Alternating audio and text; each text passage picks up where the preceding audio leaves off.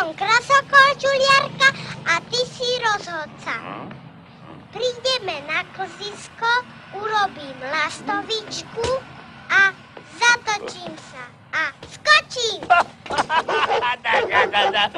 No vidíš, ešte nie sme ani na klzisku a už si caplá ako hruška.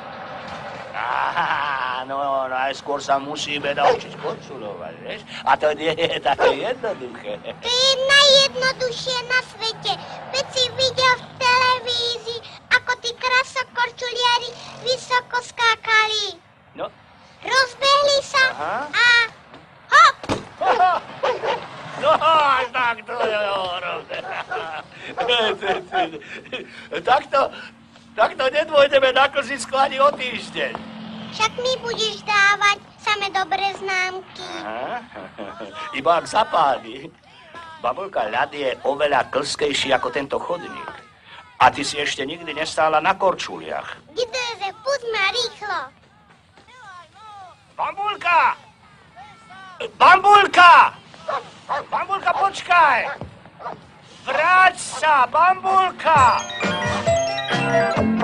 Nebež! Spadneš, Bambulka!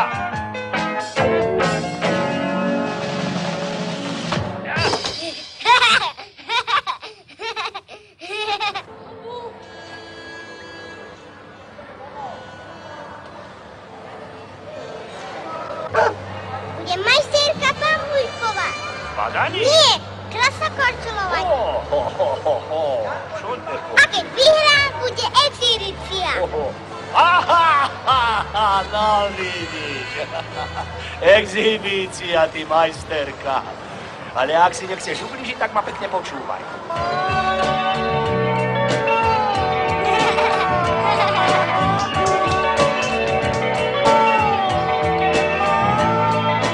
Ľad je z vody zrkadlo, hladké, klské, lesklé, studené. Aby dobre dopadlo, na ňom každé tvoje šantenie. Vypočuj si moje rady, rady dobre mienené, ľad ten má rád totiž pády, má aj nohy zlomené, obdrané hlavy a brady, modrý na kolene. Vypočuj si moje rady, rady dobre mienené. Keď tam prídeš prvý raz, drž sa radšej kraja. Prvý krok je istejší, keď budete dvaja. Na ľade sa neblázni, nechci byť hneď prvý. Ľad je síce kamarát, ale veľmi tvrdý.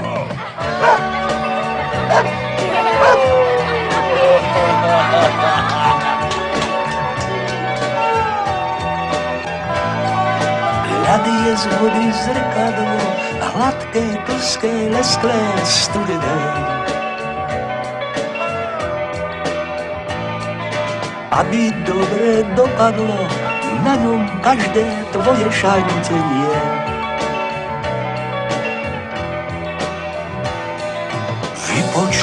si moje rady, rady dobre mienené. Ľad ten má rád totiž pády, má aj nohy zlomené. Odrané hlavy a brady, modriny na kolene. Vypočuj si moje rady,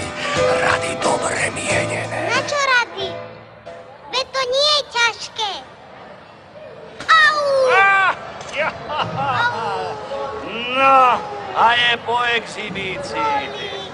Majsterka Bambulková. Podarilo sa ti perfektné, hladké pristátie. Moment. Nech sa Prosím páči. Dobrý deň. Dobrý deň. Vidím, že k nám zazide jedno dievčatko, čo nevie, ako sa má správať na klzisku. Ja nie som dievčatko, ja som bambulka. A ako sa má správať na klzisku, náhodou viem. spamäť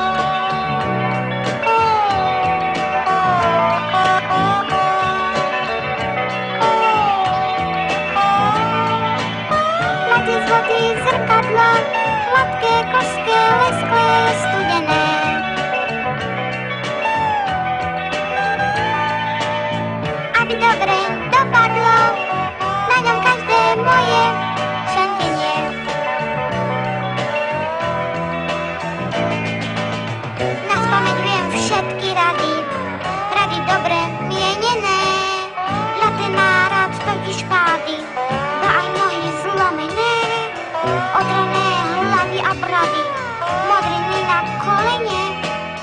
Na spamäť viem všetky rady, rady dobre mienené. Keď tam prídeš prvý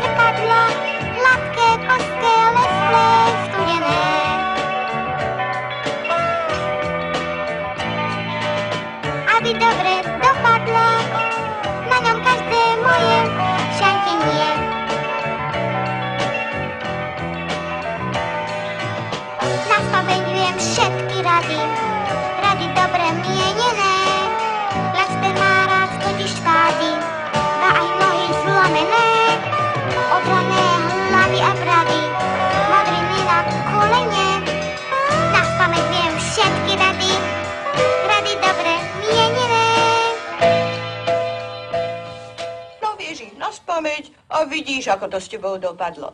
No našťastie to nie je nič vážne, máš iba vyvrtnutý členok.